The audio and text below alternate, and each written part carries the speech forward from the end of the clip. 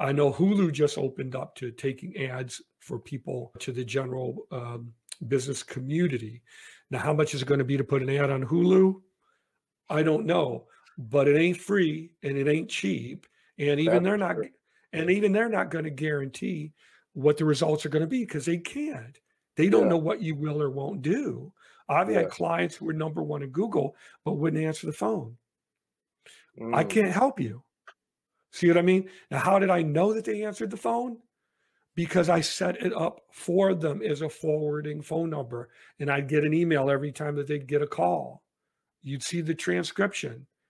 I had one client, I actually called them on his uh, regular phone and said, Dude, you're getting like 10 phone calls a day. Are you responding? Because if one of those turns out to be a, a legit offer for you, that's 30 grand.